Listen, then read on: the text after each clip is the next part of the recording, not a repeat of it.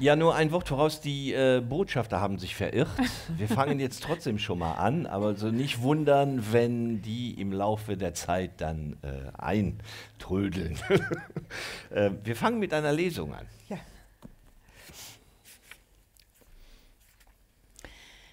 In Dunkelblum haben die Mauern Ohren. Die Blüten in den Gärten haben Augen. Sie drehen ihre Köpfchen hierhin und dorthin, damit ihnen nichts entgeht. Und das Gras registriert mit seinen Schnurrhaaren jeden Schritt. Die Menschen haben immerzu ein Gespür. Die Vorhänge im Ort bewegen sich wie von leisem Atem getrieben ein und aus, lebensnotwendig. Jedes Mal, wenn Gott von oben in diese Häuser schaut, als hätten sie gar keine Dächer, wenn er hineinblickt in die Puppenhäuser seines Modellstädtchens, das er zusammen mit dem Teufel gebaut hat, zur Mahnung an alle, dann sieht er in fast jedem Haus welche, die an den Fenstern hinter ihren Vorhängen stehen und hinausspähen. Manchmal, oft stehen auch zwei oder sogar drei im selben Haus an den Fenstern, in verschiedenen Räumen und voreinander verborgen, man wünschte Gott, dass er nur in die Häuser sehen könnte und nicht in die Herzen. In Dunkelblum wissen die Einheimischen alles voneinander und die paar Winzigkeiten, die sie nicht wissen, die sie nicht hinzuerfinden können und auch nicht einfach weglassen, die sind nicht egal, sondern spielen die allergrößte Rolle. Das, was nicht allseits bekannt ist, regiert wie ein Fluch. Die anderen, die Zugezogenen und die Eingeheirateten, wissen nicht viel. Sie wissen, dass das Schloss abgebrannt ist, dass die Nachkommen der Grafen jetzt in verschiedenen, weit entfernten Ländern leben, zum Heiraten und zum Taufen aber üblicherweise zurückkommen, woraufhin es große Feste gibt für den ganzen Ort. Die Kinder holen aus den Bauerngärten Blumen und winden Girlanden, die alten Frauen kramen ihre hundertjährigen Trachten heraus und alle stellen sich entlang der Herrengasse auf und winken. Mit nadelspitzem Lächeln nehmen die ausländischen Bräute wahr, dass hier trotz der vor langem erfolgten republikanischen Übernahme noch auf die Untertanen Verlass ist, zumindest alle heiligen Zeiten einmal. Begraben lassen sich die Grafen allerdings schon lange nicht mehr hier. Die Gruft kann besichtigt werden, doch sie wird nicht mehr belegt. Zwar hat man die Grafen 20 Jahre nach dem Krieg erst unter Hinweis auf die undichte Familiengruft überhaupt wieder nach Dunkelblum gelockt. Unmittelbar nach dem Krieg dagegen hatte man sie, wer genau ist unbekannt, mit erstaunlicher diplomatischer Kunst ferngehalten. Die Nachrichten, die man zum Zustand der Brandruine übermittelte, waren stark übertrieben. Abreißen, leider alles abreißen, lautete der mit Tränen und Erschütterung vorbe vorgetragene Befund. Und die kurz zuvor verwitwete Gräfin im Exil glaubte ihren ehemaligen Verwaltern und Pächtern und Sekretärinnen und Zofen oder wer immer dahinter steckte oder wer immer weiter trug, was er vom Hörensagen wusste oder zu sagen gezwungen worden war. Für einen Lokal, vielleicht wollte die Gräfin es glauben. Für einen Lokalaugenschein war sie zu faul oder zu feige, für ein Gutachten zu wenig flüssig. Und so wurde das Schloss abgerissen und eine gigantische Menge an bestem Baugrund wurde frei in einer vormals unerreichbaren zentralen Lage. Irgendjemand musste damals davon profitiert haben, denn jemand profitiert immer. Seither ist der Ortskern von Dunkelblum baulich und atmosphärisch zweigeteilt. In die jahrhundertealte, bäuerlich verwinkelte Hälfte, weiß gekalkt und mit blauen oder grünen Fensterläden, und in die andere, schauerlich zweckmäßige, Blech und Silikon, praktisch und abwaschbar, so wie man damals zur Zeit des Wiederaufbaus auch innerlich gern gewesen wäre. Zurück auf Stippvisite kam also, 20 Jahre später, der leutselige älteste Sohn der Gräfin, dem man vieles nachsagen konnte, nur nicht, dass er sentimental gewesen wäre. Die Vorfahren safteln, trompetete er, ließ die Gruft öffnen und abdichten, was dort abzudichten war. Dann segnete der Herr Pfarrer alles mit Nachdruck für die Ewigkeit ein und die Gruft wurde wieder geschlossen. Damals soll es noch Dunkelblumerinnen gegeben haben, die durchlaucht nach der Zeremonie die Hand küssten, knicksend. Der Färbenz hingegen hat genau zur gleichen Zeit einen allgemeinen Frühschoppen im Café Posauna plakatieren lassen. Aber diesem Spaltungsversuch war kein Erfolg beschieden. Wenn der Graf und der Pfarrer riefen, wussten die meisten, was sich gehörte, auch wenn man ansonsten mehrheitlich der Meinung vom Färbenz war. Hier ging der Graf vor. Er war ja so selten da. Und so saß der Färbenz mit dem harten Kern seiner Getreuen im Café Posauna und sie tranken sich die Nasen rot. Und obwohl es aussah wie eine Niederlage, wusste jeder von ihnen, dass sie alle sich für immer merken würden, wer da gewesen und vor allem wer nicht da gewesen war. Und wer von den Anwesenden einen Stiernacken hatte, das waren die meisten, dem rötete er sich bereits vor Vorfreude, weil mit der Abreise des Grafen die Machtverhältnisse in Dunkelblum schon bald wiederhergestellt sein würden.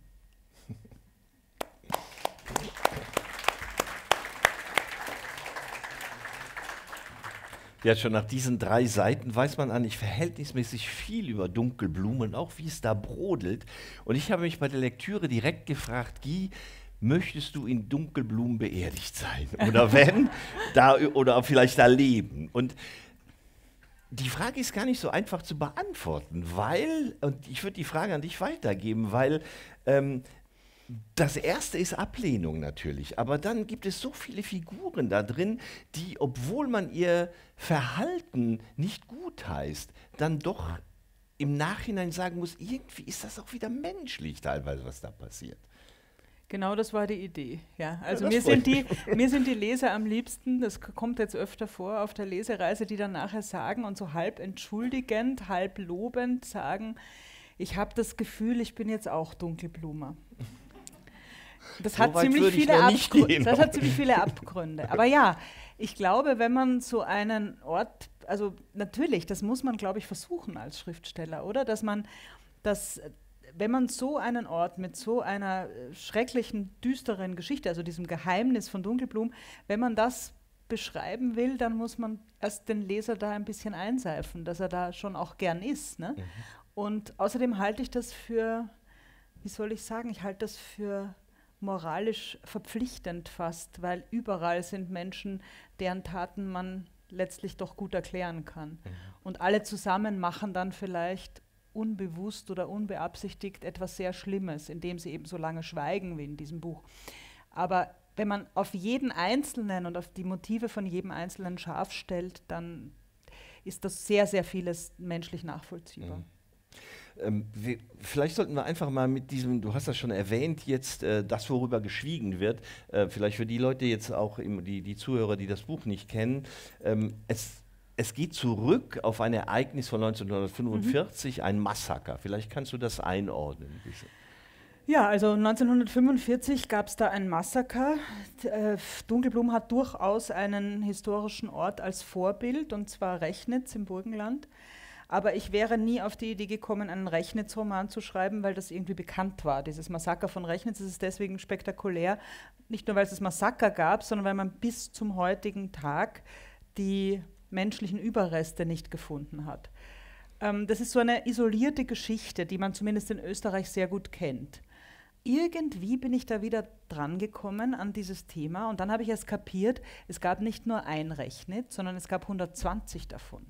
Und dann habe ich überhaupt erst begonnen, über diese ganze Sache nachzudenken. Denn es war so, dass am Ende der Nazizeit überall dort, wo, wie haben Sie das genannt, lebensunwertes äh, Leben, vorhanden war, man es noch schnell ausgerottet hat. Also Sie kennen äh, die äh, KZ-Todesmärsche, ähm, Sie kennen äh, Massaker an eben an Zwangsarbeitern, es gibt welche an Kriegsgefangenen, alles überall. Und nun waren dort in dieser Gegend im Burgenland sehr, sehr viele Zwangsarbeiter, weil sie einem, eine letzte Verteidigungslinie gegen die Rote Armee bauen sollten. Und nun ist einem Massaker literarisch ist meine Meinung, das ist natürlich nur eine individuelle Meinung, nichts hinzuzufügen. Massaker geschehen. Wir sehen es gerade wieder in der Ukraine. Also am Massaker gibt es nichts zu erklären. aber, oder auch nichts zu erforschen. Aber wenn, wie ich immer glaube, bitte kommen Sie und nehmen Sie Platz, die Botschafter sind eingetroffen. ja, ja, wir haben es schon gehört. Wir, so. Dann, ähm, was mich interessiert hat, war das, was danach passiert. Also dieses ähm, Massaker in einer Kleinstadt, ein Verbrechen in einer Kleinstadt, jeder kennt jeden, jeder weiß, wer dabei war.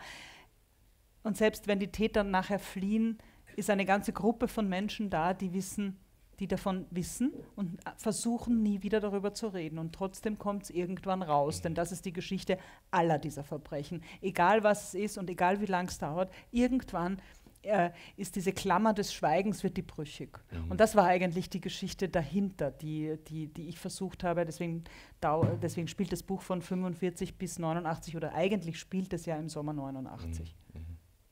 Was mich auch wundert, ist, dass sie tatsächlich nie gefunden wurden, weil man, also vielleicht überschätze ich einfach äh, die moderne Technik. Aber ich denke, ähm, wenn ich mir das vorstelle, diese Leute sind ja nicht nochmal 50 Kilometer äh, von Dunkelblumen, sagen wir jetzt ja. mal, ähm, äh, weiter äh, getrieben worden, sondern das muss ja in unmittelbarer Umgebung ja. gewesen sein. Und trotzdem, nach so vielen Jahren. Also, also was, das Rechnitzer, äh, was das Rechnitzer Massengrab betrifft, das nicht gefunden wurde, kann man das ganz gut erklären. Ähm, und ich glaube, ein entscheidender Hinweis also erstens gibt es die Cold Case Fälle. Ne? Wir wissen aus, der, aus jeder, der schon mal Tatort gesehen hat, je länger ein Mord her ist, desto schwerer ist er, ist er aufzuklären. Äh, dort ist eben wegen dieser Wallarbeiten wahnsinnig viel umgegraben worden in derselben Zeit. Also von 44 bis 45 ist dort alles umgegraben worden auf Kilometer, Quadratkilometern. Dann gab es Bombeneinschläge, also Kämpfe, alles Mögliche. Das heißt, man hat so weder mit Satellitenbildern, man hat alles gemacht. Tatsächlich. Seit den 90er hm, Jahren okay. hat das österreichische Innenministerium alles gemacht, was möglich ist. Satellitenbilder, dann diese Überflugsbilder aus der Ur- und Frühgeschichte. Da fliegen Flugzeuge in einer ganz bestimmten Höhe und fotografieren die ganze Zeit und das sieht man eigentlich. Und das, und, das, und das nächste ist, glaube ich, was bei, bei Rechnitz eine Rolle spielt, warum man es nie gefunden hat. Es waren höchstwahrscheinlich, aber das sind die allerjüngsten historischen Erkenntnisse, zwei Massaker an zwei aufeinanderfolgenden Tagen. Und dadurch kommt es zu diesen total divergierenden Zeugenaussagen, weil die hat man wahrscheinlich wirklich an zwei verschiedenen Orten. Und jetzt hat der eine, und alle glauben, sie reden von dem einen Massaker und jeder hat andere Infos, plus diese ganze Bedrohungslage, die in, in Dunkelblum verarbeitet ist. Also es hat nach dem Krieg, unmittelbar nach dem Krieg, verschiedene Morde gegeben, die nie aufgeklärt worden sind. Und die Rechnitzer Bevölkerung hat wirklich das Gefühl gehabt, dass da jemand die Zeugen umbringt mhm. und mhm. lieber nichts sagen. Ja? Ähm, das, sind, das sind so die historischen Umstände, die, die, die einen schon erklären lassen, warum es in Rechnitz nicht gefunden wurde. Aber umgekehrt ist es ja so, dass von den anderen 120 Massakern, die sind alle gefunden worden. Also Rechnitz steht in dieser Hinsicht allein mhm. da. Das mhm. macht es auch bis heute noch so tragisch eigentlich. Mhm. Ähm, ich habe jetzt am Anfang gesagt, äh, Dunkelblumen, aber notwendigerweise sagt man auch immer wieder Rechnitz. Mhm. Gleichzeitig ist es aber so, dass du dich immer dagegen wehren würdest, ähm, jetzt Dunkelblumen darauf zu reduzieren, eben weil Dunkelblumen ja eine erfundene Kleinstadt ist und eben aus diesen ganzen anderen äh, Aspekten, die damit hineinspielen, ähm, ja, dass das so zusammengebaut Nicht ist. Nicht nur Aspekte, sondern auch historische Details aus den ganzen anderen mhm. Massakern rundherum. Also Dunkelblum ist sozusagen verdichtete Burgenlandgeschichte. Wie gesagt, es waren über 120 dieser Massaker, ein paar waren auch im östlichen Niederösterreich, aber ist jetzt egal, so für hier können wir das jetzt so sagen. Ich habe sozusagen alle anderen, nicht alle anderen, aber einige der besser historisch aufgearbeiteten äh, anderen, Verbre also vergleichbaren Verbrechen und, und, und, Details von hier genommen und Details von mhm. da sozusagen. Das ist ein Modellmassaker. Mhm. Ja? Würdest du dann auch so das Verhältnis, weil es ist halt eben schwer, wenn man mit historischen Momenten arbeiten, äh, äh, arbeitet, dann, dann äh, ist der Rekurs darauf und dass man darüber sprechen muss, natürlich automatisch gegeben. Aber wie würdest du das Verhältnis denn zwischen äh, Geschichte, zwischen dieser Realität und der Fiktion, dem Erzählen charakterisieren? Das Komische ist, je länger ich damit auf Lesereise bin und immer wieder auch andere Stellen vorlese, desto mehr begreife ich, dass es eigentlich wirklich ein historischer Roman ist, in dem Sinn, dass fast alles stimmt, mhm. was da drin steht. Es ist nur anders zusammengebaut. Ja? Also alle Ereignisse, bis auf zwei, drei Sachen, die ich dann so hingebogen habe, aber die, die historischen Teile stimmen. Mhm. Und wenn sie nicht in Rechnitz waren, dann waren sie in Jennersdorf oder in Mattersburg oder da oder dort. Mhm. Ja? Aber ich habe sozusagen aus dieser ganzen, aus dieser ganzen Burgenland-Geschichte einen fiktiven Roman gemacht und das Fiktive ist nur, dass ich sozusagen in eine Geschichte reingezwungen habe. So wie Doku-Fiction. Mhm. Vielleicht können wir einfach, um reinzukommen, ja. die erste Passage hören. Genau, also ich sagte schon, die eigentliche Rahmenhandlung spielt im Sommer 89, als die Grenze dort, genau dort aufgegangen ist. Also der eiserne Vorhang hat genau dort zu wanken begonnen und ist auch brüchig geworden. Da gab es dann dieses berühmte pannonische, paneuropäische Picknick, das komischerweise von Habsburgern zusammen mit ungarischen Menschenrechtsgruppen an der Grenze ähm, durchgeführt wurde. Und da ist es gelungen, einigen hundert DDR-Bürgern, die sich da alle in die in, die in, Ungarn Urlaub gemacht haben, aber begriffen haben, gerochen haben, dass da jetzt was passiert, die alle in Richtung Grenze gegangen sind, rüberzulaufen. Das war so eines der ersten, und daran kann ich mich ziemlich gut erinnern, an diesen Sommer 89. Da war ich 19 und plötzlich kamen da die DDR-Bürger rüber. Aber davon später nochmal. Jetzt erstmal eine einzelne Figur aus Dunkelblum, der geflickte Schurl. Den geflickten Schurl zog es an diesen glühenden Spätsommerabenden unwiderstehlich an seine südwestliche Grundstücksgrenze, wo er auf und ab ging und rauchte. Hier standen die schönsten Obstbäume Dunkelblums, uralte Majestäten, die seit vielen Jahrzehnten trugen und seine, seiner Familie aus Handlangern und Hilfsarbeitern ein dringend benötigtes Zusatzeinkommen bescherten. Das Leben war von diesem Obstgarten geprägt, seit sein Vater ihn an sich gerissen hatte. Seit damals kümmerten er und seine Geschwister sich um Pflege, Ernte, Lagerung und Verkauf. Er erinnerte sich gut an die Tage, als die Mauer gebaut wurde, mit der die eindrucksvollen Baumreihen, fast hätte man es eine Plantage nennen können, baulich dem Besitz seiner Familie zugeschlagen wurden. Schurdels Vater und Großvater hatten schnell und beherzt gehandelt. Während andere noch dem Horker zur Hand gingen, indem sie Türen eintraten und Lastwagen besorgten für die, die nicht sofort gingen, während sie Listen schrieben und den Tempel verwüsteten, organisierten Schurdels Altvordere fieberhaft Ziegel und Mörtel, so viel sie nur kriegen und mit Mühe und Not transportieren konnten. Als der kleine Schurdel verschwitzt vom Ziegelschupfen fragte, ob endlich das Haus vergrößert wurde, weil ja schon wieder ein Baby komme, lachte der Vater nur. Wirst schon sehen, Bur, sagte er und warf dem Großvater Blicke zu. Der erste Ziegelstein für die Mauer wurde im selben Augenblick gesetzt, in dem der letzte Angehörige des Haushalts derer von Rosmarin über die Türschwelle der Villa trat. Die Rosmarins schlossen sozusagen vorne die Tür und hinten, hinter dem kleinen, aber geschmackvollen Park, wurde begonnen, die Mauer hochzuziehen. Was kurz davor geschehen war, hatte sich herumgesprochen, dass nämlich die Fabrikantin, Frau Thea Rosmarin, zum Färbens gegangen war. Unangemessenes Auftreten nannte die Frau Färbens später, was dort geschehen war, und der Begriff wurde weitergetragen. Schurdels Mutter übersetzte es ihrem ältesten Sohn mit frech ist halt geworden und hat sich beschwert. Mit einer Anzeige und mit ihren Verbindungen hat es gedroht, aber da war nichts mehr zum Beschweren für so eine. Die Zeiten sind nämlich vorbei. Damals hatte Schurdels Vater bereits begonnen, die Ziegel zu besorgen. Das war nicht leicht, er konnte sie recht eigentlich nicht bezahlen. Die größte Bestellung gab er bei einem Kirschensteiner Ziegelfabrikanten auf so groß, dass es zum Streit zwischen den Eltern kam. Erst als der Großvater ins Haus trat, war Ruhe. Das ist schon in Ordnung, sagte er zu seiner Schwiegertochter, und du halt's Maul. Eines frühen Morgens stand der Ziegelfabrikant persönlich vor der Tür. Der kleine Schurdel kam gerade aus dem Hühnerstall. Der Herr war so fein gekleidet, wie man es sich für Kirschenstein vorstellte, und er bat höflich um das ausstehende Geld für die gelieferten Ziegel. Schurdels Mutter wusste nicht, was tun. Doch als der Vater dazu kam, schmiss er einfach die Tür zu und schrie, der Herr solle im nächsten Monat wiederkommen, da würde er bezahlt werden. Und dazu lachte er. Es mochte ja sein, dachte der geflickte Schurdel nun, drei Monate vor seinem 61. Geburtstag, dass das nicht ganz in Ordnung war, die alle einfach rausschmeißen. Aber so war die Zeit eben. Verboten war es nicht, eher ausdrücklich erwünscht. Aber die Rosmarins waren ihnen dankbar, dass sie die Bäume zu sich herüberholten. Das hatte Schurdels Mutter später oft betont. Wer hätte sich darum kümmern sollen? Wenn nicht wir, dann ein anderer. Das konnte man schlecht abstreiten.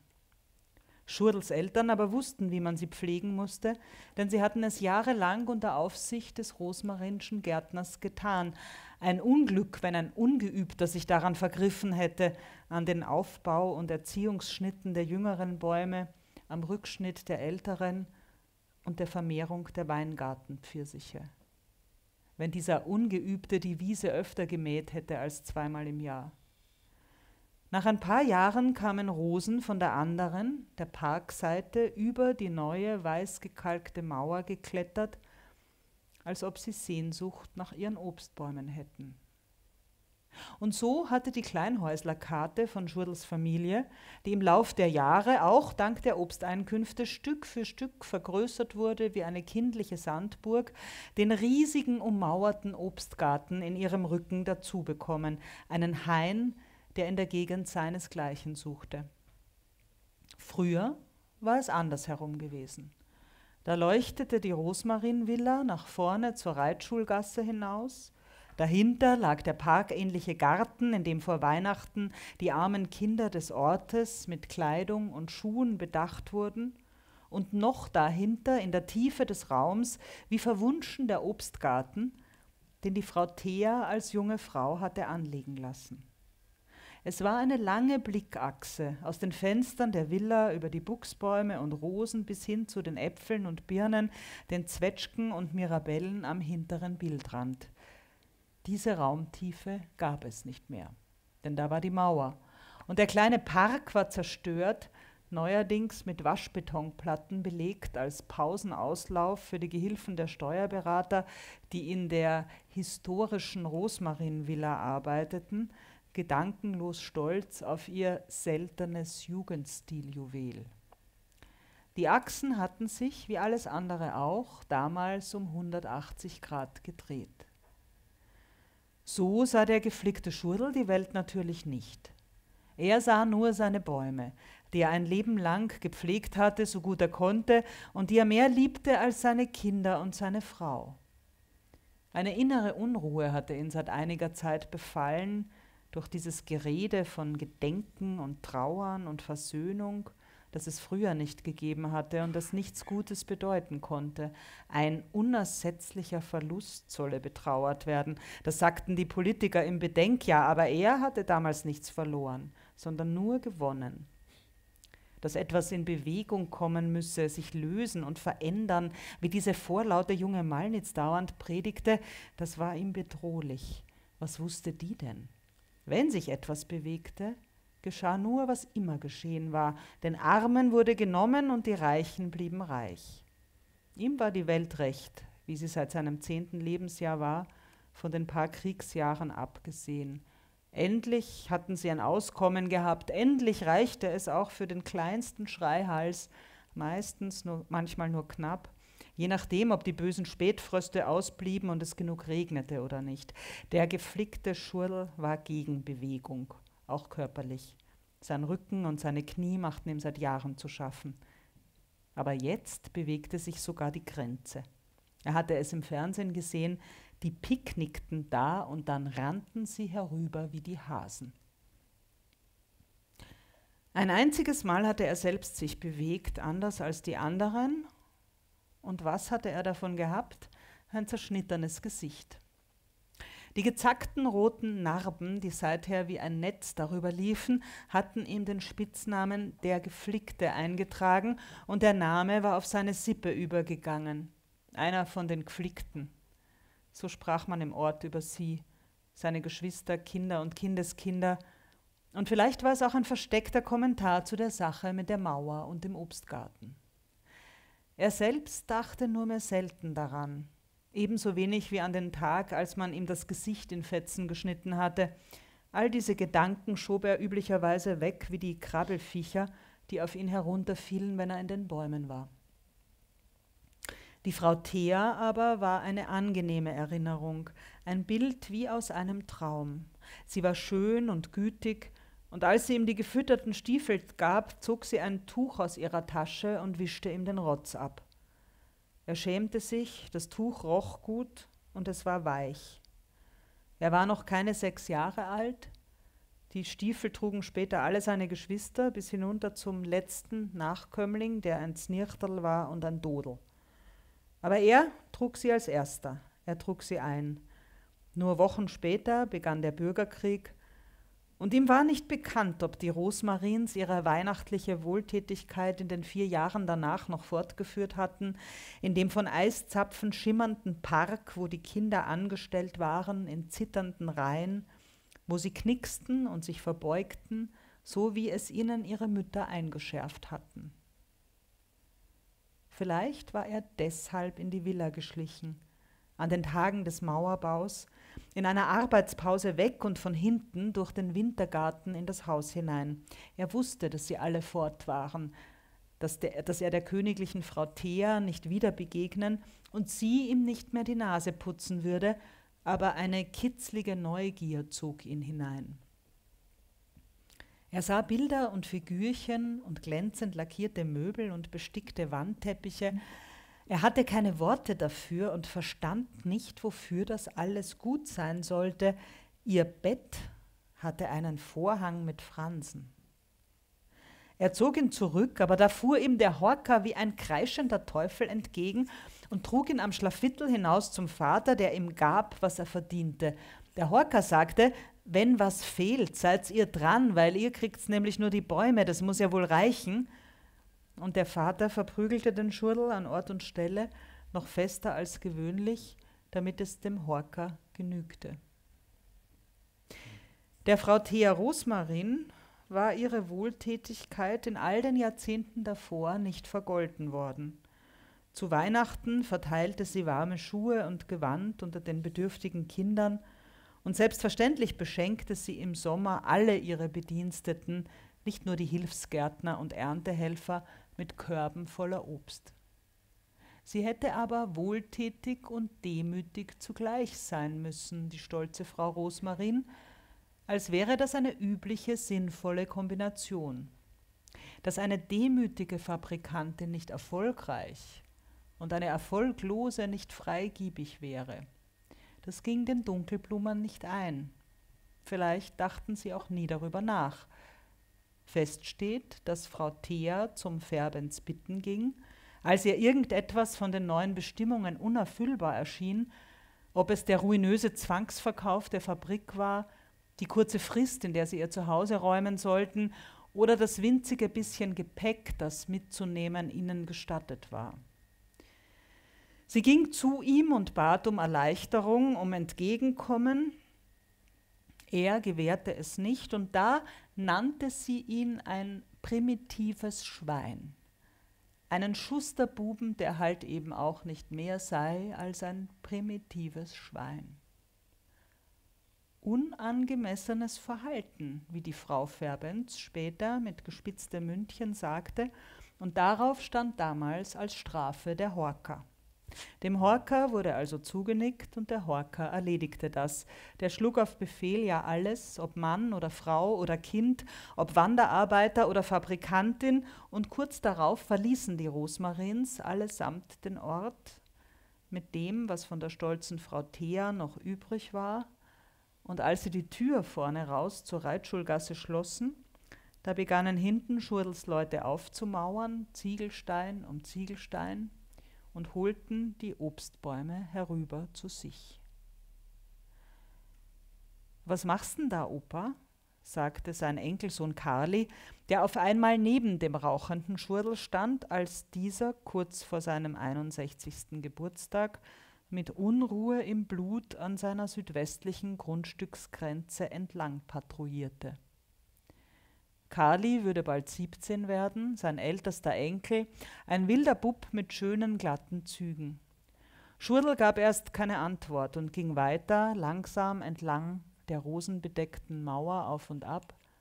Kali blieb neben ihm. Und als sie so gingen, da sagte der geflickte Schurdel nach einer Weile, weißt Kali, diese alten Sachen aufreißen, das ist nicht recht. Das ist eine Gefahr. Das müssen wir verhindern, das geht auch gegen uns. Da muss bald einer etwas tun. Kali nickte und seine Augen glänzten. Danke.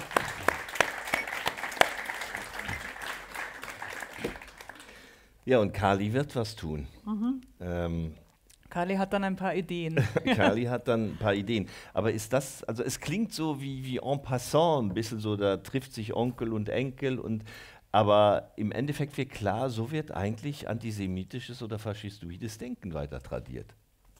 Oder ich würde nicht mal so hochgreifen. Also ich würde nicht mal, ich würde es nicht sofort, ich, ich glaube, es ist einfach Gewalt. Ähm, ich, mich interessieren so Figuren wie der gepflegte Schurdel, weil der ja erstmal kein Täter ist. Der ist ein Kind, als sich seine Familie diese, diesen Obstgarten aneignet oder er ihnen zugeteilt wird. Und er ist, ähm, er ist wahrscheinlich einer von den allerärmsten und auch allerdümmsten in Dunkelblumen. Mhm. Der hat nichts anderes. Der kann Bäume schneiden. Aber je mehr die Jahre vergehen, desto klarer wird auch ihm, dass da irgendwas Unrecht war. Und das ist ja kein Zufall. Das ist ja zum Beispiel auch wirklich wahr, dass diese Geschichten da in Rechnitz und an der Grenze über die 45er-Verbrechen wirklich erst nach dem Fall des Eisernen Vorhangs so mhm. richtig hochgekommen sind. Ja? Weil man da überhaupt wieder denken durfte, was davor war, bevor da diese dieser kalte Krieg sich darüber gesenkt hat wie Mehltau.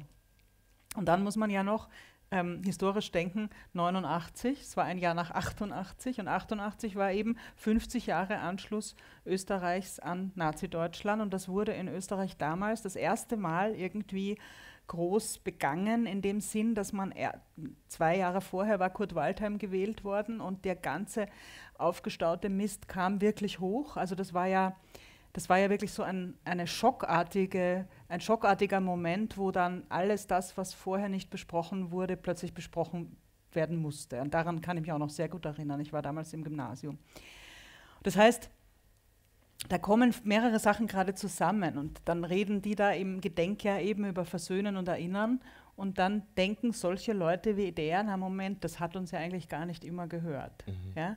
Und das sind, dass er sich dann sozusagen zusammenzieht innerlich und sich denkt, aber man wird mir doch jetzt am Ende meines Lebens nicht alles wegnehmen, was ich mir aufgebaut habe und sei es nur eine blöde Obstplantage. Mhm. Das ist alles, was der hat. Ja? Also ich habe vielleicht mehr Verständnis noch für ihn, und das sind auch die Figuren, die mich interessieren. Mhm. Ja? Die Erzbösen, die habe ich ja eher an den Rand gestellt. Ja, da gibt es auch nicht ja. so viele es von. Gibt ne? nicht der so Hawkeye ist so einer. Aber, genau, ja. aber äh, es gibt noch eine andere Figur, die ganz ähnlich denkt, die Resi. Genau, ja. Ding. Da ist die es ja auch viel intelligenter. Ja. ja, aber da ist es auch so. Im Endeffekt, das ist dieses äh, Hotel Tüffer mhm. und ähm, die, das sind auch Juden und die müssen auch gehen. Und äh, die Frau Tüffer übergibt der Resi halt die Schlüssel ja? Und, ähm, und, und die Resi fühlt sich, fühlt sich gesehen. Ja. Die Resi ist das Begabteste von den, an, von den Lehrlingen und von den Mädchen, die da mhm. arbeiten, und sie kriegt den Schlüssel mhm. von der verehrten Frau Töfer. Mhm. Das heißt, die ist stolz, auserwählt. Und ich sage immer, ich glaube, weil ich weiß ja auch nicht alles über meine Romanfiguren, ich glaube, wenn die Frau Tüffer 1945 zurückgekommen wäre, Gedankenspiel, sieben Jahre später, hätte die Rese den Schlüssel geholt mhm, und gesagt, Frau genau. Tüffer, ja. ich habe gut auf Ihr Hotel aufgepasst. Schauen Sie, ist alles noch in Ordnung. Mhm. So kommt aber niemand und niemand lässt sich hören und es vergehen die Jahrzehnte und die Resi steckt ihr ganzes, ihre ganze Energie, ihr ganzes Leben in dieses Hotel rein. Und dann kommt dieses Bedenkjahr, mhm. 88. Wir, ja, auch wir Österreicher haben ein paar Sachen gemacht mit den Nazis, arisiert und so weiter. Plötzlich denkt die Resi Reschen, wem gehört eigentlich mein Hotel? Ja?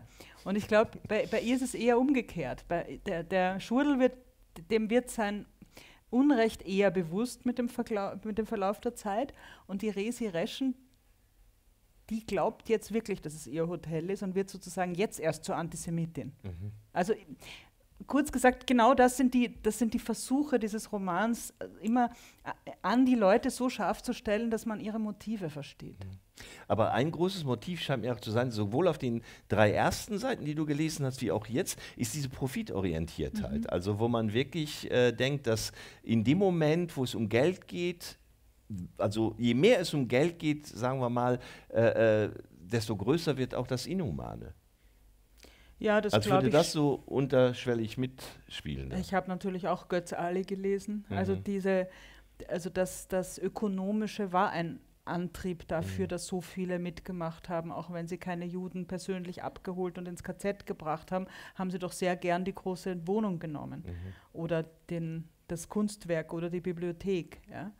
Das ist, glaube ich, das ist leider eine menschliche Konstante. Also mhm. überall wird schnell geplündert, wenn es möglich ist und und, und, und vor allem auch, es gibt ja sogar diesen noch vertreteren äh, menschlichen Aspekt, wenn, wenn man glaubt, man kann sogar was Gutes tun. Ja, so wie hier, es muss ja jemand, der sich auskennt, um diese Obstbäume kümmern. Ja, das, auch das stimmt. Mhm, ja? Mhm. Also so, das, aber das wäre eine ähnliche Rechtfertigung, wie Risi sagen würde, ich habe ja. jetzt, die, ich habe doch für dieses Hotel gesorgt, ja, die ganze Zeit, C ihr wart nicht da. Genau, diese CDU-Leute da vor zwei Jahren in Deutschland, die haben auch gesagt, wir brauchten Masken. Wir mhm. haben halt ein bisschen mhm. mitgeschnitten, aber gebraucht haben wir die Masken. ja? Das ist so, wo der Mensch hingreifen kann, wird es tun. Ja? Nicht jeder von uns, aber doch viele. Ja, ja.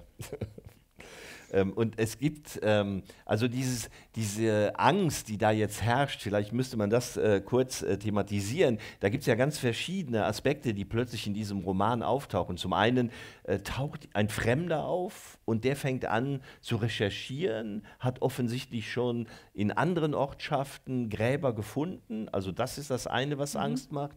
Äh, dann gibt es äh, ähm, Studenten aus Wien, äh, die wollen einen zugewachsenen, wirklich massiv zugewachsenen jüdischen Friedhof wieder freilegen. Ja. Und dann kommt noch, und das finde ich auch eine, eine, eine, lustige Geschichte mit drin, dann kommt das Wasser ja. äh, äh mit hinein. Also diese Wassergeschichte stammt auch aus dem historischen Material. Man glaubt ja gar nicht, was man alles am Brauchbaren findet, wenn man als Schriftsteller mal wirklich zu wühlen beginnt. Also in, ist es meins? Nein. das ist der Horror, den ich habe, dass es ja, mein ja. Handy ist. Ähm, äh, die, diese Wassergeschichte, die stimmt auch. Die hat es tatsächlich in Rechnitz gegeben, nur zehn Jahre früher. Also das ein Ort, man denkt heute, das ist eigentlich ein Phänomen der Jetztzeit mit Klimakrise und Wasserknappheit, aber sowas hat es auch schon in den 70er Jahren gegeben. Es gibt kein, im Sommer wird das Wasser knapp, vor allem auch in Orten mit Landwirtschaft und, und Bewässerung. Und dann gibt es zwei Möglichkeiten. Also damals im ländlichen Österreich gab es die zwei Möglichkeiten. Man schließt sich entweder an den Wasserverband an, dann wird man eine große Wasserleitung und bezahlt als Kommune. Oder man äh, organisiert das alternativ. Das war damals schon eine, noch eine ziemlich versponnene Idee, sozusagen frühe Formen von grünen Politikern, die sagen, wir haben genug Wasser, wir müssen es nur besser nützen. Wir haben noch ein paar Quellen, die müssen wir verfügbar machen, wir müssen die besser verbinden, die ganzen Wasser. So, und das stimmt wirklich für Rechnitz.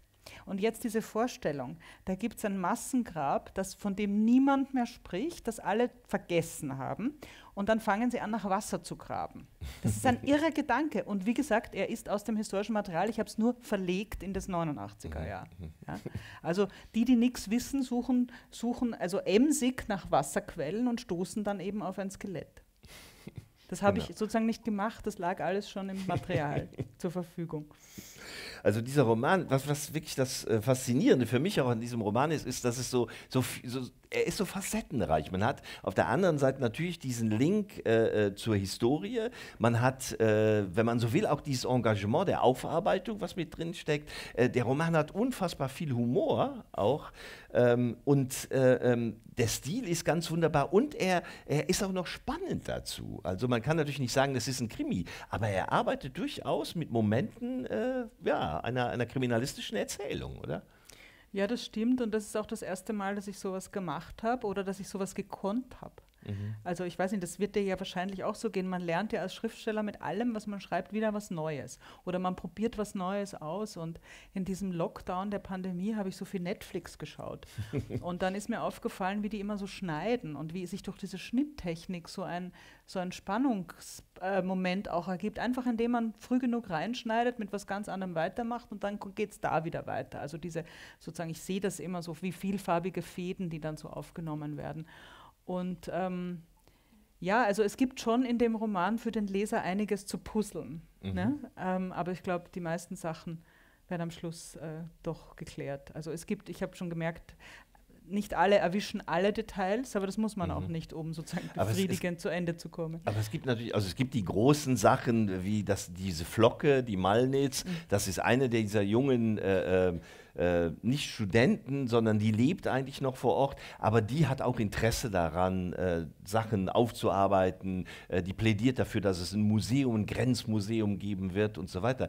Aber was die Details anbelangt, und das, ich liebe sowas, muss ich ganz ehrlich sagen. Das sind ja wirklich, da gibt es, das muss ich Ihnen ganz kurz erzählen. Unbedingt, äh, da gibt es zum Beispiel ähm, einen, einen Krämerladen, äh, äh, Herr Grün arbeitet da und dessen Klingel geht nicht. Ja? Mhm. Und dann äh, kommt irgendjemand und sagt, ja, da kann ich mal gucken, was das ist. Und dann ist was in dieser Klingel oben reingestopft. Irgend so eine Masse und der schabt das dann weg und raus kommt irgend so was Komisches, was so kegelartig ist und so. Und das vergisst man als Leser auch wieder.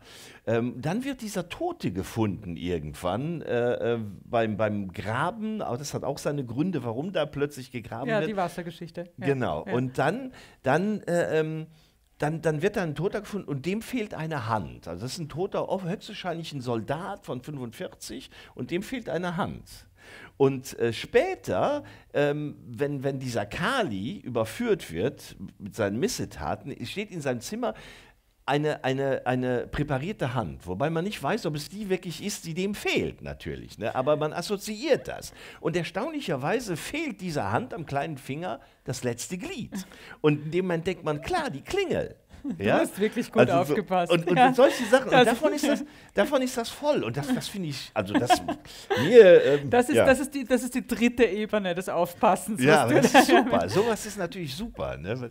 Also finde ich großartig. Ja, das wird auch nicht ja. aufgelöst. Man kann das, man, ja, völlig richtig deduziert, aber es wird nicht gesagt, dass das das ist. Ja, genau. Und ähm, ähm, was eben diese Spannungsmomente anbelangt, die Flocke äh, verschwindet irgendwann und natürlich denkt man, wo ist sie denn jetzt? Weil die hat ja recherchiert. Und, und dann kommen so Momente rein, die taucht dann wieder auf und, und äh, dann kommen Momente rein, da ist auch ein, ein, eine andere wirklich interessante Figur kommt rein, nämlich dieser junge Lowetz. Ja? Und dessen Mutter ist plötzlich gestorben, die ist gerade Mitte 60 mhm. oder so. Und äh, auch die hat äh, an der Ortschronik da mitgearbeitet. Und natürlich fragt man sich dann, und das wird auch thematisiert. Man soll selbst auch ein bisschen paranoid werden beim ja, Lesen. Genau, ja, genau. Hat geklappt, ja? ja? ja super. Absolut. also das sind wirklich die Momente, die, äh, ja, die einen Unfall, also ich meine, das ganze Buch packt einen, aber das sind so nochmal so diese, das sind die i-Tüpfelchens dabei. Ähm, was anderes, ich habe gerade gesagt, es ist sehr humorvoll, es ist, äh, ist sehr viel Ironie drin, bis hin zum Sarkasmus vielleicht. Ähm, und das ist ja auch etwas, was, was interessant ist. Dieser Ton, ja, den muss man ja auch erstmal treffen, weil es ist ein sehr ernstes Thema und dann so damit umzugehen. Ähm, war das von Anfang an klar, dass man so mit umgeht? Und die zweite Sache auch, wie hast du das aufgenommen? Es gab ja Kritiker, die dir genau das vorgeworfen haben. Ja, aber das sind immer dieselben Kritiker, die haben mir das schon bei Vienna vorgeworfen. Ja. ja? Äh, und seit diese Kritiker, also ich kann es jetzt so, ich könnte es jetzt namentlich nennen, wir wissen, alle Schriftsteller sind yeah. super, super empfindliche Wesen. äh, seit alle dieselben Kritiker, die das an Dunkelblumen ähm, kritisiert haben, alle miteinander Jasmina Reza verrissen haben, mhm. bin ich zufrieden. Mhm. Die verstehen mhm. das einfach nicht. Yeah. Ja? Es gibt offenbar einen Typus des nicht-jüdischen männlichen Kritikers in Deutschland, der eine ganz bestimmte Humor, der in Wirklichkeit über dem Abgrund lacht, mhm. nicht mhm. versteht. Und wenn man das nicht versteht, dann kann man das Buch nur irgendwie blöd finden. Das mhm. kann sogar ich verstehen, dass man, wenn man, wenn einem dieses Sinnesorgan fehlt, es nicht kapiert. Ähm, wie ich das äh, ich habe ein Lieblingsbuch. Mhm. Ein ewiges Lieblingsbuch. Ich habe viele Lieblingsbücher, aber eines meiner absolut ewigen Lieblingsbücher ist ein ziemlich unbekannter Roman, der aber verfügbar ist, von Ulrich Becher, Murmeljagd. Ich weiß nicht, ob du das Buch mhm. kennst. Der echte, echte ja. Leser, echte Leser. und ich habe mich, den habe ich das erste Mal mit 19 gelesen, den hat mir damals mein, mein Bruder empfohlen, dem ich viele meiner Lieblingsbücher verdanke. Und ich habe den immer und immer wieder gelesen. Ich habe oft über den geschrieben, jetzt auch das Nachwort in der neuen Ausgabe. Und ich habe mich irgendwann mal gefragt, warum gefällt mir das Buch eigentlich so? Weil das Buch hat auch Schwächen, also große Schwächen. Die letzten 100 Seiten kann man streichen. Die, es, ist, es ist so ein Würde unau- eher anders. ja, würde er natürlich anders sein, ja. Gott hab ihn selig. Aber dieses Buch fasziniert mich, glaube ich, nicht nur wegen seiner brillanten filmischen Szenen. Das Buch ist ja eigentlich ein Film. Da, da, da passieren Szenen, die vergisst man nie wieder, wenn man sie einmal gelesen hat. Aber was mir gefällt, und da bin ich erst in den letzten zehn Jahren so drauf gekommen, der Sarkasmus, mit dem er über die Nazitäter schreibt und in dem, dem es irgendwie gelingt, man muss sehr viel lachen und gleichzeitig ist es total gruselig, dieses Buch, also Murmeljagd jetzt. Ja? Und die Nazis werden moralisch demontiert, indem man auch über sie lacht. Also das ist eine ganz komische Mischung, die aber total funktioniert, finde ich, und die ich sonst in der deutschen Literatur nicht kenne. Und irgendwie wollte ich so in die Richtung, ich wollte so in diese Richtung von diesem Vorbild gehen, ja, so dass man man soll lachen und weinen und die Nazis sollen am Schluss verloren haben, so wie sie es ja am Schluss auch haben, aber auf Kosten all dieser Millionen Toten. Trotzdem ist das, glaube ich, ein ernstes Buch und ich glaube, die besten ernsten Bücher sind die, über die man auch lachen kann. Aber ich, ich, ich, auf der anderen Seite, ich kann nicht anders schreiben. Ich kann es wirklich nicht. Ich kann, ich, also mir vorzustellen, ich gehe da jetzt und mache sozusagen Weihrauch schwenkend ein ernstes Buch, total ernst, das ist, passt einfach nicht zu mir. Aber vielleicht macht es auch das Ganze erträglich in einer bestimmten Hinsicht. Ja, natürlich. Das Ganze macht es erträglich und das ist eben auch eben diese Konzentration auf die ambivalenten Figuren, wie die Resi Reschen oder den Schurdel.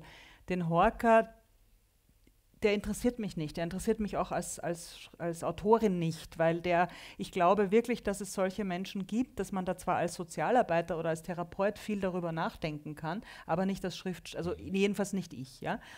Gleichzeitig sind da ein paar Dinge, ich habe mich immer schon für Gruppendynamik interessiert, ein paar Dinge sind, glaube ich, allgemein menschlich und treffen nicht nur auf die Nazizeit zu. Zum Beispiel, dass du sehr wenige brauchst, die wirklich wild entschlossen sind. Dann kannst du eine große Gruppe von Menschen terrorisieren und unter deine Kontrolle bringen. Ja? Also zwei mit Waffen in einer Bank, 50 Leute legen sich auf den Boden. Ja, das ist einfach so. Es gibt dann immer wieder die andere Geschichte, wie das vierte Flugzeug am 11. September, die mich auch weiterhin fasziniert, wo dann die Passagiere aufgestanden sind und gesagt haben, so nicht. Und dieses Flugzeug ist nicht ins Pentagon gefallen, sondern einfach ins Feld. Also die, die, diese beiden Möglichkeiten sind immer, wenn Menschen in einer Gruppe agieren, sind beide vorhanden. Und deswegen interessiert mich der Böse nicht. Der ist da und er schüchtert alle ein. Aber was die einzelnen ambivalenten Figuren dann machen und wie sie mit dem, was passiert ist, weiterleben, das ist das Ziel des Romans. Ja, weil äh, du hast gerade das gesagt, diese, dieser dynamische Prozess, es sind ja wahnsinnig viele Figuren Mhm. im Endeffekt. Ne?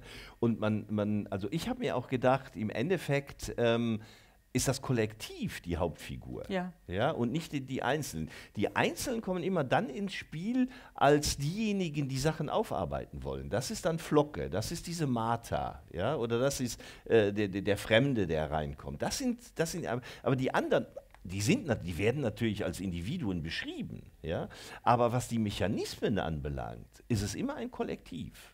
Ja, ja, das stimmt. Aber es ist auch manchmal, manchmal stellt es auch scharf auf die Momente, wo jemand etwas hätte sagen können und es aus bestimmten Motiven nicht getan hat. Oder der alte Graun, der ja offenbar, der, das, das sind zum Beispiel der alte Graun ist eine historische Figur im Grunde. Auch der Horka, auch der Fairbanks. Also das sind ein paar, die wirklich nach der Geschichte geschrieben sind. Ungefähr. Äh, der will, der hat beim Massaker die Waffen ausgegeben und der wollte offenbar dann ein Jahr später, der Österreich war inzwischen besetzt, äh, auspacken und wird im Wald nicht nur erschossen, sondern auch noch verbrannt. Der Fall ist wahr. Ja? Ob der wirklich auspacken wollte oder ob das jetzt die Gerüchte aus Rechnet sind, sei dahingestellt. Aber wie sehr so eine einzelne Tat einen ganzen Ort terrorisiert und dazu führt, dass sie dann eben weiter, weitere 20 Jahre die Klappe halten. Das ist, glaube ich, offensichtlich. Aber es ist eine einzelne Tat, aber im Endeffekt steht eben so was, steht was anderes dahinter. Das ist ja auch bei dem zerschnittenen äh, Schurdel, ja. ge äh, genauso Ja. der Fall, ja. Ich meine, das waren äh, vielleicht zur Aufklärung nochmal, äh, all diese Täter, die tatsächlich geschossen haben, so diese SS-Männer, die sind nicht gefasst worden. Aber verurteilt wurden, zumindest im, im Buch, in Dunkelblum, äh, einige Hitlerjungen, ja, die waren 16, die sind aus den Betten gerufen worden, äh, um diese äh, halb verhungerten und kranken Zwangsarbeiter äh, irgendwo hinzuführen, ja. Und dann sind sie wieder ja, weggeschickt worden. Äh, und die sind alle verurteilt worden, Das bis ist auf eine. ist auch historisch akkurat, Ja. dieser Fall. Das ist dort Schützen. Das ist das andere Massaker, das aufgeklärt Mhm. wurde, viel früher. Da gibt es einen Film über diese Hitlerjungen. Das Mhm. habe ich, also das, wirklich, es ist zusammengebaut aus lauter richtigen, wahren Mhm, Teilen. mhm. Ja. Und es gibt, du hast den, den Fairbanks jetzt äh, erwähnt, das ist ja auch eine interessante Figur. Im Endeffekt hat der die Fäden alle in der Hand. Mhm. Das ist, der war Gauleiter damals, das weiß jeder. Äh, und trotzdem ist er jetzt eine angesehene Person und der macht sehr viel Gutes jetzt fürs Genau, Dorf. genau. Der spendet und all, alles Der Mögliche. hilft den und Leuten mit ihren Baugenehmigungen und Genau, und so weiter. Klüngel Ja, würde so, man in ja. Köln sagen. Ja, genau. Ja. Und, So ein ähm, Wohltäter, so ein sozialer Wohltäter. Und, und bei dem ist ja interessant, am Schluss gibt ja dieser Martha, die eine der Studentinnen ist, die immer alles filmt, ähm, ein Interview und äh, erzählt halt so aus dem Nähkästchen. Und dann wird das aber im Fernsehen ausgestrahlt. Und dann kommt dieser interessante Satz, dass der, der Arzt, der Sterkowitz, der sitzt vorm Fernsehen und alle sind ziemlich geschockt. Ja? Und er sagt, also der sagt doch nichts anderes als sonst auch immer im Stammtisch und so weiter. Aber jetzt habe ich es kapiert. Der Kasten macht alles schlimm. Ja. Ja? Eben weil es vom, vom, Fernsehen übertragen wird. Ich glaube, das geht uns auch allen so. Wenn wir es jetzt sozusagen runterbrechen von der Nazi-Geschichte. Jeder von uns hat irgendeinen peinlichen Opa, Onkel, Verwandten, jemanden, der schreckliche Sachen. Heute, heutzutage hat schon jeder einen Corona-Leugner in seiner Familie, ja. Und wenn man das zu Hause kennt, dann kann man das irgendwie abmoderieren oder man holt dann wieder Kuchen und sagt, sollen wir ein bisschen Musik hören und ja, also äh, aber jetzt stellt man sich mal vor, jeder für sich den einen peinlichen Verwandten, dass der im Fernsehen kommt und das erzählt. Ja, paff. Ja. Es ist eine völlig andere Situation. ja. Ja, ja. Aber auf der anderen Seite macht Literatur nicht genau das Gleiche? genau. Die Literatur Aber macht im, genau also das dann Gleiche. im positiven Sinne, wenn man so will. Ne? ja, Obwohl das, das, andere ist ja auch nicht negativ. Das ist ja schon äh, auch, wenn man, also Selbstentlarvung. genau, Ja. genau. ja, ich denke, wir sollten noch eine Passage Ja, lesen. Vielleicht kannst Ich du könnte, ich könnte jetzt, wir haben jetzt zwar was anderes ausgemacht, aber ich, ich habe auch eine Passage mit diesem Interview, die könnte ich auch lesen. Die ist ungefähr so like lang. it. Ich weiß auch Da muss ich mir neue Fragen aus. Ach so, nein, wenn du dir Nein, das war jetzt ein Witz. Ja, ich werde schon fähig Ja. sein, noch ein paar. Nein, nur weil du es erwähnt hast, dieses Nazi-Interview. Ja, ja, Auf der anderen. Seite ist es ein bisschen unappetitlich. Ich lese, ich lese, die, ich lese die vorbereitete Stelle vor. Wie, wie gesagt, Sommer 89. Ähm, auch das ist übrigens wahr. Warum kann ich dann nachher erzählen? Also warum ich das weiß. Fast eine Zirkusnummer von Heuraffel, Berneck und Co. war die Geschichte, wie sie den Bürgern der Deutschen Demokratischen Republik, die direkt hinter der Grenze seit Tagen zu einem diplomatischen Problem anschwollen, zur Flucht verhalfen. Oder besser gesagt, wie sie mit der Unerschrockenheit von wahrhaft Einheimischen, die sich also von ihrem Staat ausreichend geschützt fühlen, die Ostdeutschen einfach herüberwinkten, ohne dabei die ungarischen Grenzer in Rage zu bringen. Sie gingen dabei mit so frecher Lässigkeit vor, dass die Ungarn nicht zu schießen brauchten, jedenfalls nicht, um ihre Ehre wiederherzustellen. Die in die Jahre gekommene Dunkelblum-Gang war ursprünglich nur aus Neugier an die Grenze gefahren. Sie hatten ein paar ihrer Söhne, Enkel und Neffen mitgebracht und ihre Schaulustigkeit war deutlich schadenfroh grundiert. Na siehst es, der Ostblock zerfällt. Jener Ostblock, der bisher andauernden Schrecken und Bedrohung bedeutet hatte, besonders hier, wo die Menschen seit Jahrzehnten buchstäblich mit dem Rücken zur kommunistischen Wand standen. Da standen sie und schauten, und drüben, jenseits des betonierten Niemandslandes, das zwischen dem österreichischen und dem ungarischen Grenzhäuschen lag, schauten Menschen mit komischen Frisuren sehnsüchtig zurück. Die meisten, die sich da drüben drängten, waren jung. Es waren viele Familien darunter. Eltern trugen Kinder auf dem Arm oder hielten sie an der Hand. Und diese Kinder waren vermutlich der Grund, warum sie nicht einfach losrannten. Die Situation schien auf eine unbefriedigende Weise gestockt, der Lauf in die Freiheit jäh abgebremst, und das kitzelte den Spieltrieb der hiesigen, die ja nichts zu verlieren hatten. Die ungarischen Grenzer liefen angespannt hinter ihren Balken hin und her, ihre Holster so klar erkennbar wie ihre Minderzahl. Autos aus dem Grenzgebiet wurden seit Tagen nicht mehr abgefertigt, in keine Richtung. Um in diesen Tagen hinüber zu gelangen, hätte man von Dunkelblum aus weit hinauf in den Norden an einen größeren Grenzübergang fahren müssen. Der ungarische Balken blieb zu, die vom Brudervolk der Ostdeutschen stumm belagerten ungarischen Grenzer warteten dringend auf telefonische Anweisungen und bekamen keine. Die Heuraffelzwillinge gingen zu Fuß an den ersten Balken und plauderten mit den österreichischen Beamten, man kannte sich ja. Und wenn wir uns ein paar von denen herüberholen? fragte der eine Heuraffel, während er dem Grenzer eine Zigarette anbot. Wenn wir sagen, wir kennen die, wir haben die eingeladen? Der Grenzer nahm sich auch Feuer. Schwer zu sagen, antwortete er. Beim Picknick ist nichts passiert, aber vor ein paar Tagen erst haben sie einen erschossen. Aber das war nicht unsere hier, sagte der Heuraffel, und es war mitten in der Nacht. Naja, sagte der Grenzer, wissen tut man's halt nie. Haben die noch um vier Ablöse? fragte der Heuraffel, wie gewohnt. Der Grenzer nickte. Und so fuhren sie noch einmal weg, die Heuraffels und ihre Haberer, und holten von zu Hause die größten verfügbaren Fahrzeuge mit Ladeflächen oder Anhängern und sogar einen VW-Bus. Kurz vor vier kamen sie damit wieder. Punkt vier würden die ungarischen Grenzer geschlossen in die Baracke marschieren, in der die Wachablöse stattfand. Die Fahrzeuge der nächsten Schicht näherten sich bereits von der Ferne. Die Sache hatte immer ungefähr eine Viertelstunde gedauert, und selbst an diesem Tag schien niemand etwas beschleunigen zu wollen. Vielleicht hofften die Ungarn auf die konservierende Wirkung des Rituals. Na, jetzt schauen wir einmal, sagten die Heuraffels, warfen ihre halbgerauchten Chick aus den Autofenstern, nickten einander zu, stiegen aus und gingen, den österreichischen Grenzbalken hinter sich lassend, näher auf die ungarische Seite zu. Dort begannen sie zu winken, mit beiden Armen in großen Kreisen wie die Windmühlen, die es traditionell in der ungarischen Tiefebene gab. Kummt's umme, schrien sie im Dialekt, kummt's umme, hier herüben ist Österreich. Und dann schrien auch die anderen, der Berneck, der junge Graun und der geflickte Schurdel und dessen Enkel, der aufgeweckte Karli, sie winkten und wachelten, kummt's umme, kummt's umme, und ein Schauer lief durch den gedrängten Block aus Menschen auf der anderen Seite. Wie ein einziger großer Körper gerieten sie in Bewegung, rückten geräuschlos in Richtung Balken vor, sich vorsichtig nach den Grenzern umblickend, doch die gingen weiter auf ihre Wachablösebaracke zu und wirkten mit einem Mal wie Zinnsoldaten.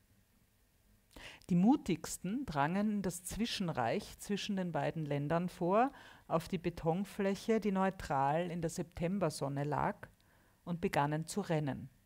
Der Block verflüssigte sich. Na schau her, murmelte der geflickte Schurdel befriedigt. Geht doch. Binnen anderthalb Minuten kamen die Ostdeutschen herüber, alle, die da gewartet hatten, etwas mehr als hundert Menschen, fast so stumm, elegant und kollisionsfrei wie ein Fisch- oder Vogelschwarm, der spektakulär die Richtung wechselt. Nur einmal quer über diese Betonfläche, an deren Stelle vor genau 43 Jahren ein toter, von Elisa Goldmann falsch identifizierter Zeuge gelegen war, und schon hatten sie ihr politisches System überwunden, schon machten sie rüber, schon ließen sie mit ein paar Schritten alles zurück, selbst ihre teuren, so lange erwarteten Trabis. Jenseits der österreichischen Grenze jubelten die Ersten, aber manche brachen auch in Tränen aus, als sich die Anspannung löste. Sie erkletterten die Ladeflächen der landwirtschaftlichen Fahrzeuge, bestiegen die Anhänger. Mit diesem provisorischen Fahrdienst wurden sie in mehreren Tranchen nach Dunkelblum gebracht, genau wie vor 44,5 Jahren die Zwangsarbeiter aus dem Schloss in den Wald gebracht worden waren, ängstlich bewacht von denselben, die diesmal die Retter waren. Aber daran dachte an diesem frohen Tag niemand. Als freundliche, tatkräftige Chauffeure teilten sie sich die Flüchtlinge untereinander auf, die Heuraffels, der Berneck und der geflickte Schurl, schließlich hatten sie alle auf ihren Höfen ein paar Fremdenzimmer, oder es gab Verwandte und Bekannte, die welche feilboten. Erst als ihre Zimmer voll belegt waren, stellten sie die restlichen Menschen auf dem Hauptplatz vor dem Hotel Tüffer ab und steckten der Resireschen, was sie herausgefunden hatten. Denen gibst morgen einfach eine Rechnung mit, das wird dann von der deutschen Botschaft überwiesen. Morgen? fragte Resi misstrauisch. Was ist morgen? Morgen kommen die Busse vom Genscher, jubelte Berneck, und sobald die alle weg sind, fahren wir an die Grenze und holen uns neue.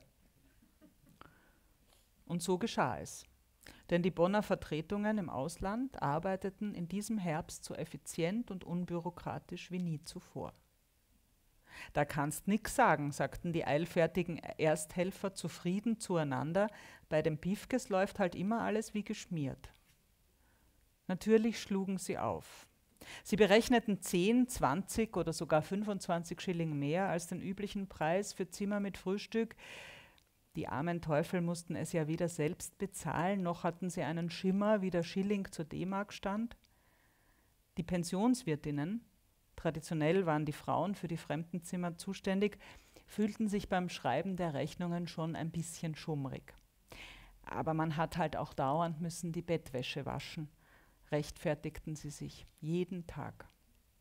Sie, die selbst nie gereist und also in gnädiger Unkenntnis der internationalen Übernachtungspreise waren, erfuhren niemals, dass ihr Aufschlag niemandem wehtat oder auch nur auffiel. Der Aufschlag, für den sich die eine oder andere Dunkelblumerin insgeheim ein wenig genierte, zählte in dieser Ausnahmesituation nicht mehr als der sprichwörtliche als der Fliegenschiss auf dem sprichwörtlichen chinesischen Reissack. Die Scham aber war mehr als gerecht. Dankeschön.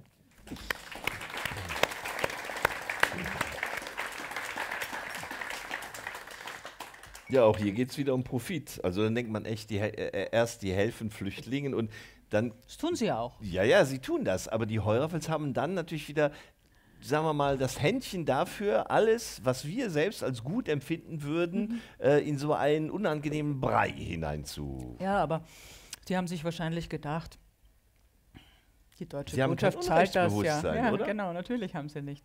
Ich habe ähm, vor kurzem wieder die Biografie von Bruno Kreisky gelesen und einiges zu ihm und habe den schönen Satz gefunden, drei Jahre nach seiner Kanzlerschaft, er war schon alt und krank und schlecht gelaunt, drei Jahre vor seinem Tod, kann man auch sagen.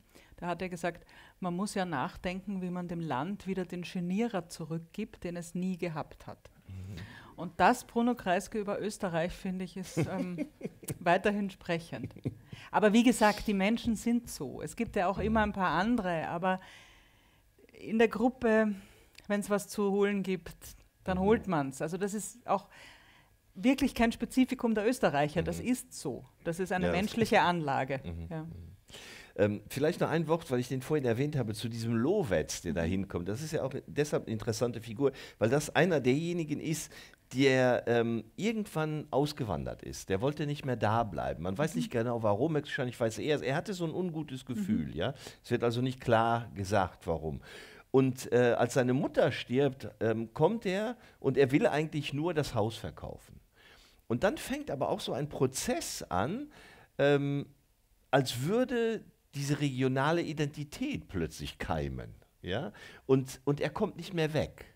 Und das ist ja auch ein interessantes Phänomen, dass man äh, auch bei Dunkelblumen das Gefühl hat, selbst die Leute, die weggehen könnten, sie tun es nicht. Zum Beispiel der, der Grün, der Krämer, mhm. der ja auch damals, also in, in 38, ja. 38 gehen musste, ja, und äh, fast brutal also, vertrieben wurde, ja. Genau, ja. Der, der kommt zum Beispiel irgendwann wieder ja. und ähm, mietet sich irgendwo ein Und irgendwann, wenn dieser Hochgar, wirklich das personifizierte Böse, gehen muss, dann, dann ersteht er sein eigenes Haus. Ja. Also da, wo man sich auch, auch, auch fragt, was, was geht den Menschen vor eigentlich, eben, was ist diese regionale Identität und was, was verhaftet die da? Ja, das kann ich auch nicht beantworten, aber der, der Lebensmittelhändler, der Anteil Grün, hat auch ein historisches Vorbild von den sehr, sehr, also man muss dazu vielleicht sagen, dass es im Burgenland eine große jüdische Minderheit gegeben hat, über 300 Jahre lang. Das hat was damit zu tun, dass immer, wenn Pogrome in Wien waren, haben, sind die Juden geflüchtet in alle möglichen Richtungen, aber dort waren diese beiden Komitate, der Esterhazy und der Batjane, also die ungarischen Herrschaften, und die haben die immer genommen. Also die mhm. waren irgendwie, entweder, ich habe das an einer Stelle geschrieben, entweder sie waren liberaler oder sie haben einfach mehr Geld gebraucht, ja, weil die, von den Juden hat man sich auch immer geliehen in, in diesen Fürstentümern und mhm. ist ja alles bekannt. Ähm, das heißt, im Burgenland hat es eine sehr stabile und relativ große jüdische Minderheit gegeben. Und der Rest der österreichischen Juden, speaking of 1938, hat ja in den Städten gelebt, nur im Burgenland nicht. Das führt dazu, dass ich auf, in der zeithistorischen Forschung auf so einen Satz gestoßen bin, wie im Burgenland war die Vertreibung der, Öst der burgenländischen Juden ganz besonders schnell und ganz besonders brutal. Und was jetzt wieder Rechnitz und die umliegenden Orte betrifft, es gab vereinzelte Juden, die zurückgekommen sind. Die meisten waren vertrieben, sind nie wieder gekommen, umgebracht, sonst was. Aber ein, zwei hat es gegeben. Und es hat tatsächlich den Lebensmittelhändler in Rechnitz gegeben, der wieder zurückgekommen ist. Ich weiß nichts über den sonst, aber ich habe ihn sozusagen hier erfunden. Aber den einen hat es gegeben, der zurückgekommen ist. Und diese Sätze habe ich in meiner Kindheit öfter gehört ähm, von von, ich bin ja in, zum Teil in so einem Rückkehrer- und Remigrantenmilieu aufgewachsen durch meinen jüdischen Vater. Diese Sätze wie, ich war in Israel, aber da war es mir zu heiß. Mhm. Ja? Oder ich war in Amerika, aber Deutsch kann ich besser. Mhm. Ja? Also es gibt natürlich immer wieder individuelle, auch äh, irgendwie herzergreifende Gründe, warum man mhm. da nicht weggekommen ist oder wieder zurückgekehrt ist. Mhm. Ähm, das, das Ganze, also das Burgenland, das macht ja die Grenze zu Ungarn. Mhm. Ähm, und ich, ich weiß, dass du dich äh, eigentlich auch früher schon für das ein besonderes Verhältnis zu Grenzen hast, wenn man so will. Ja? Ähm, aber das Interessante an dieser Grenze ist ja, dass es die, die gab es ja nie. Genau. Genau, und mein besonderes Verhältnis zu Grenzen kommt exakt von mhm. dieser Grenze, weil ich an ihr aufgewachsen bin. Mhm. Also das ist, wenn man, wenn man die lokalen Verhältnisse nicht kennt, wenn man als Kind in den 70er Jahren, wie ich in Wien aufgewachsen bin, wenn man zum Baden gefahren ist, ist man an den Neusiedlersee gefahren von da konnte man mit freiem Auge den, den eisernen Vorhang sehen. Die Wachtürme waren nicht weit genug weg, als dass man nicht diese Menschen mit den Maschinengewehren, die hat man oben gesehen, mit mhm. freiem Auge. Also es war klein, aber man konnte es sehen. Ähm, die Grenze hat es nicht gegeben. Das ist mir auch erst jetzt mit der Recherche für Dunkelblumen, weil ich ja immer weiter zurückgegangen bin, um zu verstehen, was die historischen Bedingungen dieser, dieser Landschaft sind. Die hat es nicht gegeben. Im Gegenteil, es war ein riesengroßes Gebiet namens Deutsch-Westungarn und es war die Kornkammer Wiens. Also wenn wir von der Kaiserstadt und Residenzstadt Wien sprechen, wo es ja auch in der Monarchie ganz viele Pferde gegeben hat zum Beispiel, ja, äh, das kam alles von da. Also das, das, das, das Stroh und Hafer für die Pferde kam von da, das, der, der Weizen und der Roggen, das kam alles von da. Und deswegen gab es in Wien im Winter 1918 nach dem Ersten Weltkrieg so eine verheerende Hungersnot, an der wirklich viele Menschen gestorben sind, weil plötzlich Wien nicht mehr an seine Vorräte gekommen ist, weil die plötzlich zu einem anderen Land gehört haben, nämlich zu Ungarn. Mhm. Das war mir auch alles nicht klar. Und was mir aber schon vorher klar war, weil ich eben viel auch über andere Grenzen journalistisch gearbeitet habe, wo man eine Grenze macht, gibt es Ärger. Also mhm. Grenzen machen immer nur Ärger. Wo's, und wenn es eine nicht gegeben hat und dann kommt sie hin, dann ist der Ärger gleich zehnmal so groß. Und dass jetzt nun an dieser Grenze ausgerechnet noch nachher der, äh, der eiserne Vorhang, also 45 ist, bleibt diese Grenze und dann kommt der eiserne Vorhang dahin, also praktisch ab 48 wurde es wirklich zugeriegelt und dann geht der dort wieder als erstes auf. Mhm. Ja? Und dann ist noch zehn Jahre später, da bin jetzt schon ich dabei als handelnde äh, Journalistin, noch zehn Jahre später, also 89 geht die Grenze auf und ein paar Jahre später stellen die Österreicher ihrerseits dort wieder Soldaten hin, weil nämlich jetzt zu viele Flüchtlinge kommen mhm. aus Afghanistan, Irak, Iran, China. Also alles, was da sozusagen aus dem Osten kommt, läuft über die grüne Grenze von Ungarn in die EU hinein. Damals war dort die Schengen-Ostgrenze. Also je länger man recherchiert, desto irrer wird man oder desto faszinierender wird das auch, diese Schichtung von Geschichte, die genau in diesem komischen, kleinen, abgelegenen mhm. Burgenland äh, sich ereignet hat. Als wäre es der Mittelpunkt Europas. Als wäre es der Mittelpunkt Europas. Wenn man da heute hinfährt, das ist Nowhere-Land. Ja? Mhm. Da gibt es nur Hügel und äh, ab und zu gibt es Hügel und dann gibt es viel gute Weinbauern. Ah, ja, sonst da ist nichts. ja? Ja? ich denke, wir müssen langsam zum Schluss kommen. Ich würde dich bitten, ähm, noch die letzten ja. paar Seiten des Romans zu lesen.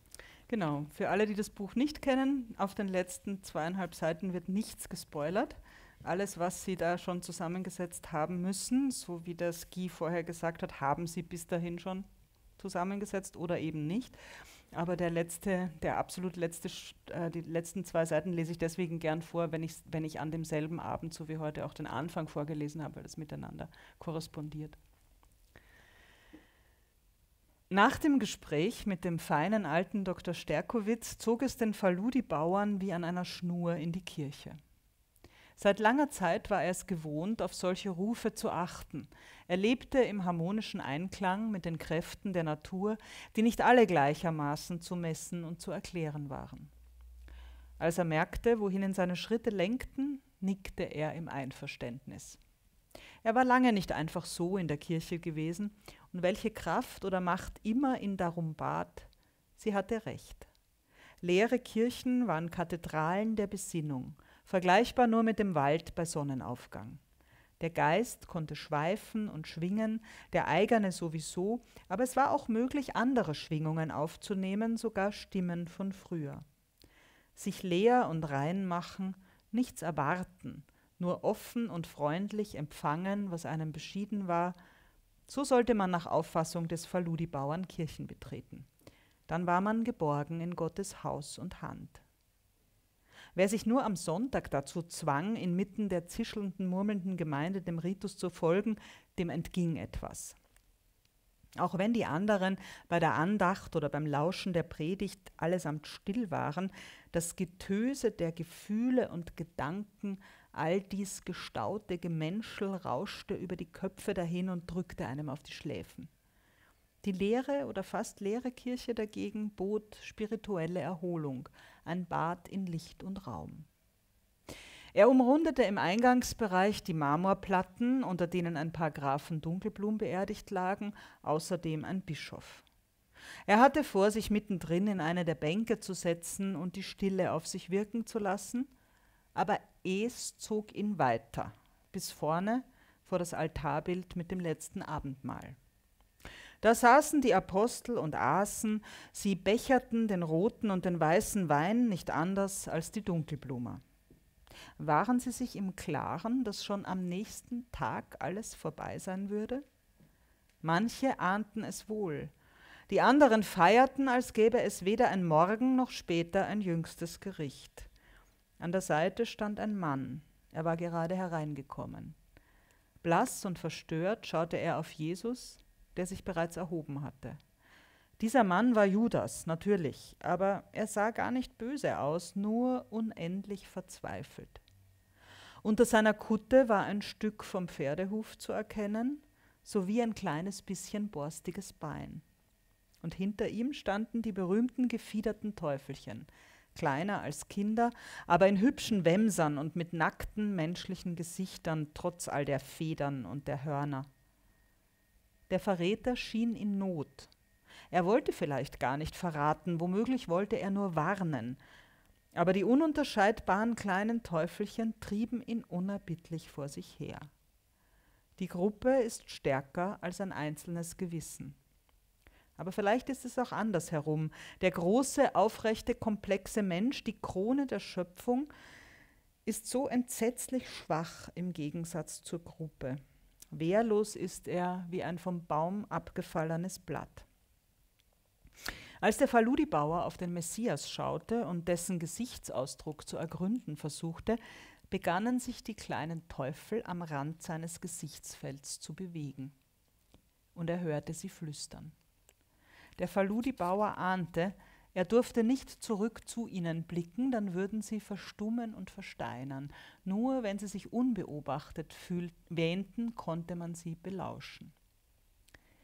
Er vertiefte sich also in das Gesicht des Messias. Der Messias litt und er schwieg so dröhnend wie die leere Kirche. Immerzu litt der Messias schweigend, immerzu schwieg er leidend, egal was um ihn herum geschah. Aber die Teufelchen waren unentwegt im Gespräch. Sie wisperten und lachten. Ist es nicht, glaubte der Faludi-Bauer zu verstehen. Geschichte ist nicht das. Der Faludi-Bauer hielt den Atem an, schloss die Augen und bekreuzigte sich. Und nun hörte er es klar, im Chor gesprochen von vielen boshaften Stimmen, die zwischendrin metallisch kicherten. Sie wiederholten es immer wieder, es kam ihnen unendlich lustig vor, den kleinen, gefiederten Teufelchen auf dem dreiflügeligen Altarbild der Kirche von Dunkelblum. Das ist nicht das Ende der Geschichte. Vielen Dank.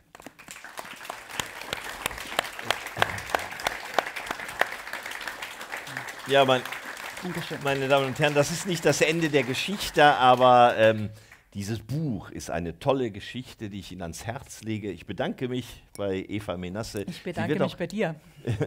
Sie wird auch gerne signieren. Kommen Sie gut nach Hause. Danke.